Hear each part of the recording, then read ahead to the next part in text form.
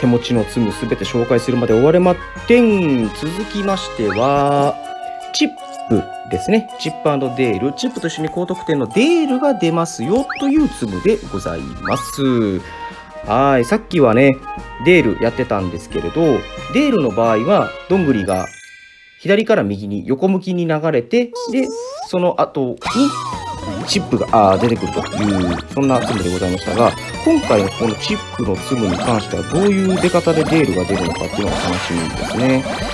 で、でやっぱりね、あの、チップといえば、デールとコンビを組んで、グラウドダックをボコボコにするっていう、そんなツムでございます。あー、今度縦向きになるんですね。やっぱりこう、それぞれのキャラで縦と横とでクロス、サガンクロスをしてですね、力を存分に発揮して、そして、青い帽子が好きなアヒルちゃんをボコボコにするという、そういうコンビネーション。そんな感じですね。はい、じゃあ、縦行きましょうか。これ、高得点ですよね。あー、確かに、11万点。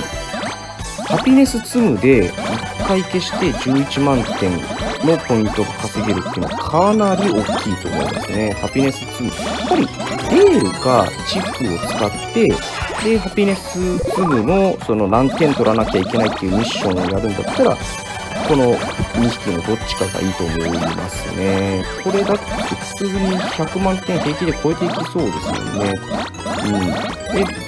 ね、アイテムを使っていけば、なおさらポイントもめちゃめちゃ取れるようになると思いますので、急にチップが出なくなりましたけどね。どうしたんだろう、なんか冬、冬ごもりでもし始めたんですね。まあ、今、冬眠の、わお冬眠の時期ですよね。間違えたボタン押しちゃいました。はい。ねおちょ、ジャ、ジャファー、ジャファー、ジャファー。このドクロはナイトメアクリスマスでしたっけ？ナイトメア、え？ナイトメアビフォークリスマス？でしたかねのキャラだと思うんですけど、また多分どっかで出てくると思います。おお、自分を消すというね。はい。もうまあ優秀なんじゃないですかね。ハピネスツムで特に何のアイテムを使わずに148万点も取れるっていうのは、まあ僕の場合レベルボーナスがあるのでこれですけど、で、無事に合計フィーバーもミッションクリアすることができたということで、前回の動画でということでは禁じますって言いましたね。言っちゃいましたね。